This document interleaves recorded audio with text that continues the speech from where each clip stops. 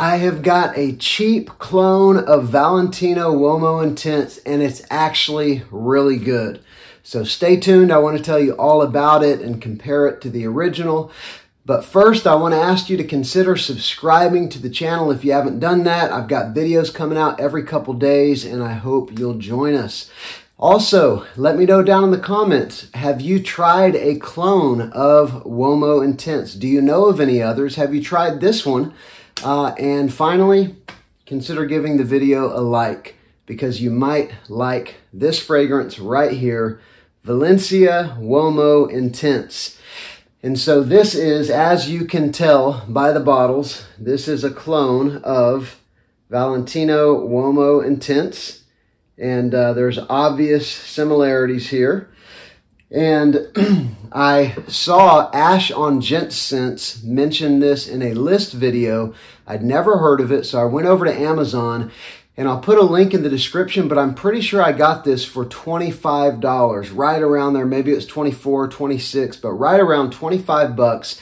So I've been wearing it for the last three days or so, just kind of testing it out. And I will tell you this, that for the price, I am very impressed. I've been looking for a clone of Uomo Intense for a long time. Out of the big iris fragrances, I go back and forth between DHI and Valentino Uomo Intense. I usually prefer this one, or at least, you know, Valentino Uomo Intense.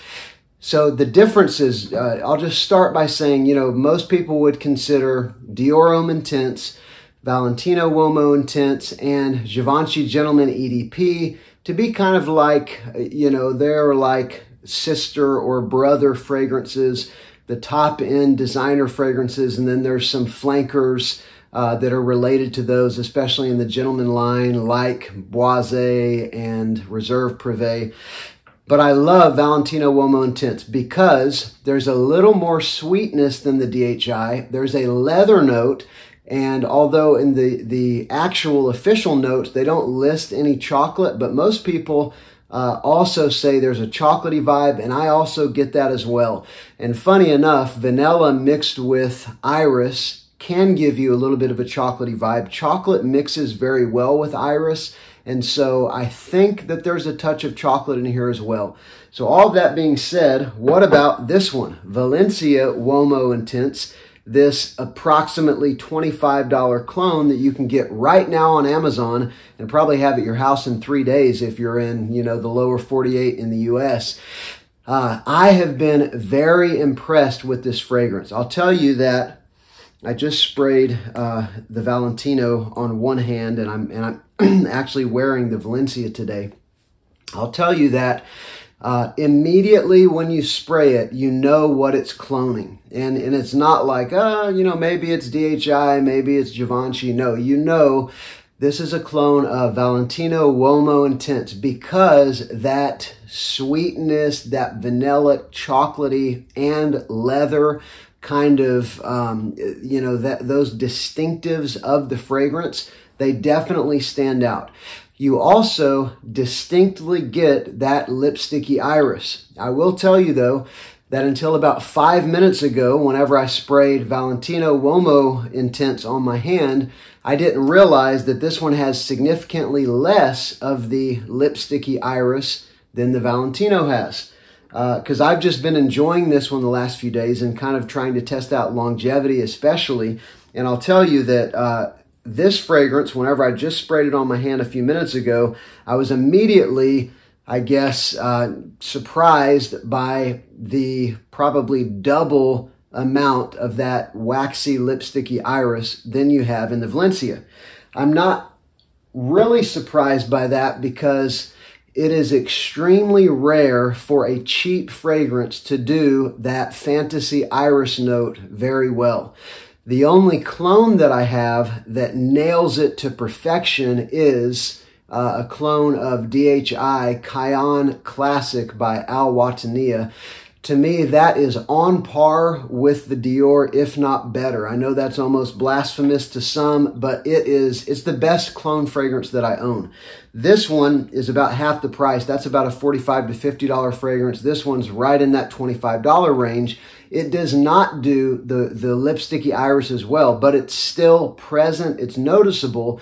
And if you like Valentino Uomo Intense, you can't get that fragrance usually for less than a hundred bucks. I mean, I watched for it for a year and never saw it go under a hundred. And so I ended up just buying it at retail because I was tired of putting it off. And it's probably, again, my favorite out of the big iris fragrances. And I'll tell you, I'm about to release my most complimented video probably like a couple days after Christmas, most complimented of 2023.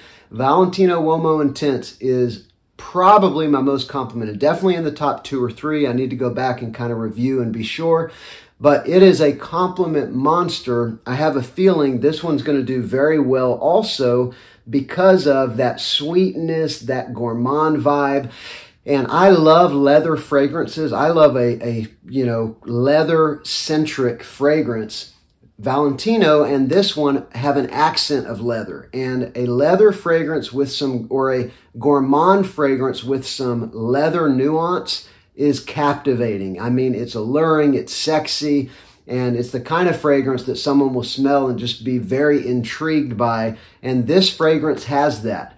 So quality level, I would say this is not going to touch the Valentino. I think that's why the iris is not as distinct. Uh, and also the Valentino, whenever I smell it, you know, there's a, there's a real complexity. It's like you go on a journey with the fragrance as it develops. You'll get a little waft of chocolatey. You'll get the waxy iris. You'll get some vanilla. You'll sort of get all of those things kind of dancing together, including the leather. This one, you know, being a $25 fragrance, it's all there, but it's not as deep. It's not as complex. It's not as, you know, the notes are not going to be as distinguished. I'm trying to give you an honest evaluation here, and so I hope I'm not sounding overly critical because I really like this fragrance. I'm going to wear the heck out of it. I am over the moon happy that I got this for around 25 bucks. I think it's an awesome pickup. If you don't have Valentino Uomo Intense or if you just want to kind of dabble and see if you like the fragrance profile or do what I'm going to do. And you know, this is, I think probably 120 after tax for this one and uh, I, I want to make it last. And so I'll probably experiment like doing half of the cheapy on one side and half of Valentino on the other. I do that. I'll go back and forth. So I think it's a great pickup. It's definitely got the iris that you're probably looking for, not to the level of one of the big three, you know, designers that I mentioned, but it's present as well as that gourmand, gorgeous, leathery beauty that you're going to get from Valentino Uomo Intense. So again, this is Valencia Uomo Intense. I do recommend it. And performance. I haven't said that yet. I've been testing a lot of fragrances the last, well, couple years, but especially the last couple days. Uh, so I haven't fully tested longevity, but I can tell you definitely this is a six or seven hour fragrance. Maybe longer than that, but I just haven't really given it a full run, you know, spraying it on in the morning, six or eight sprays, and then being gone all day and just seeing how it performs. I haven't done that yet, but I would say it's at least average performer. It's not a four hour fragrance. Uh, and I've been getting, uh, one of the things I love about the Valentino, I get a, a wonderful sillage all day where I've got that scent cloud. I'm getting wafts of it. The first few hours of this one, it is, it's awesome. I smell it constantly. Part of that's my particular biological makeup. Different people go nose blind to different things. I don't tend to go nose blind to this fragrance profile. And so I'm smelling it for hours and I love that. Valencia Uomo Intense, pick it up. I'll put a link in the description. Let me know if you've tried it. Please subscribe to the channel. I'm Justin. This is Sillage Scents.